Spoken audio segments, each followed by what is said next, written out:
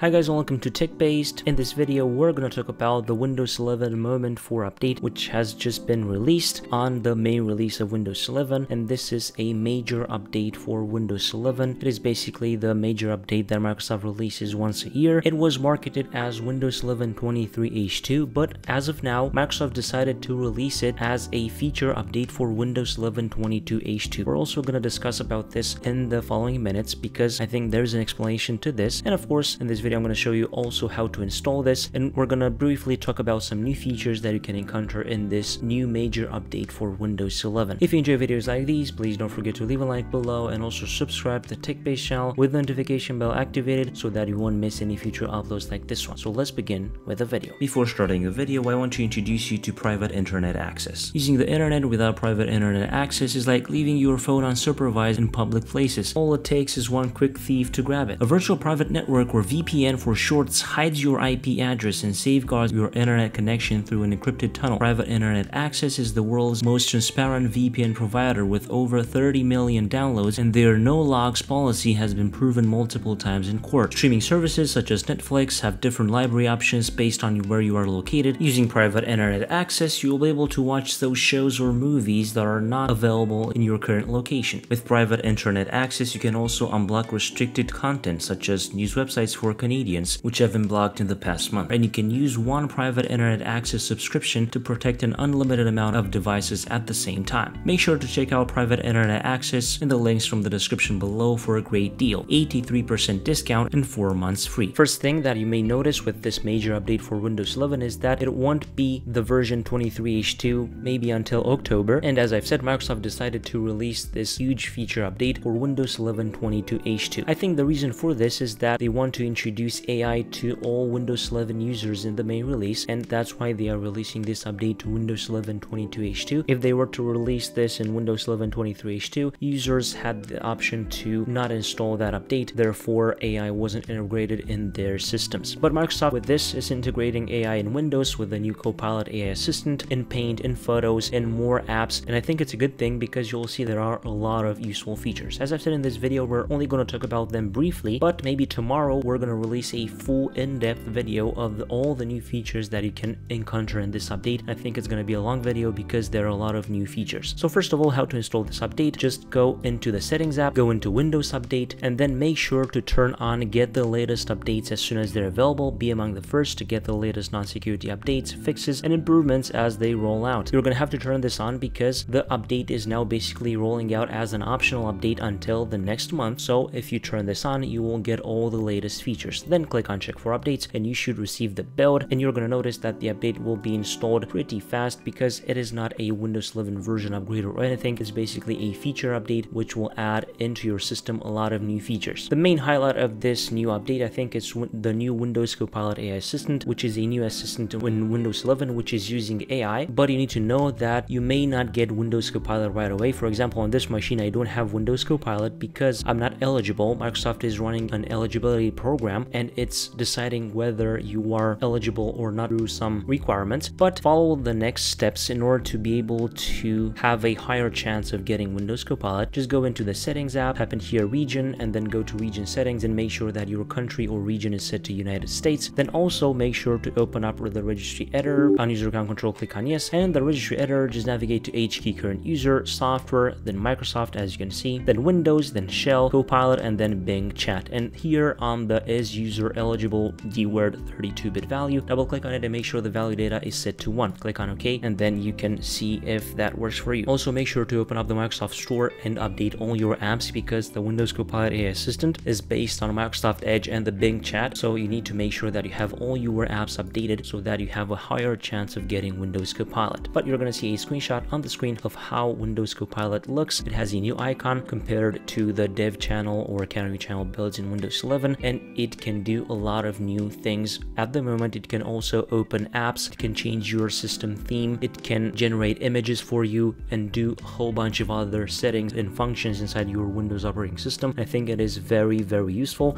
And if you have it, make sure to try it out and leave feedback to Microsoft because they are listening to feedback pretty closely in my opinion. Also, another big thing in this update is the new File Explorer, which comes with a new homepage, new details pane, new address bar, new gallery section, which is very nicely improved improved. And also another highlight is if you go into taskbar settings and then taskbar behaviors, we have the never combine taskbar icons. You have here the option combine taskbar buttons and hide labels and you can set it to never and you're gonna have this here, basically the never combine taskbar icons. Also inside the settings app, there are a lot of new features. You're gonna notice a lot of updated dialogues, a new homepage and other new improvements. Also on the taskbar, you're gonna notice a lot of features such as the new volume mixer and also the new installation process. If you're installing this build from an ISO, you're gonna notice that it's pretty different because we now have voice access that can help us in the installation process. There's also an option for presence sensing and also after you finish the installation process, depending on what you selected the purpose of the OS would be for, for example, development, it will open up the new dev home app or it will open up other apps, as an example, the get started app and so on. And there are also updates to a lot of apps. For example, the Notepad app has updates with an autosave feature, tabs. Also, the Paint app now has AI integration with the background removal tool. And you're also going to notice layers inside the Paint app. And also the Photos app has been updated, the Backup app, the Phone Link, and basically all apps have received major updates that I think make this update pretty important. And I strongly recommend you install it because it is a good one, has a lot of new features that users have requested for a long time. So as I've said, in the coming days, maybe tomorrow, I'm going to release an, an in-depth presentation of the new features that you can encounter in Windows 11 Moment 4 Update, or we can call it 23H2 because in October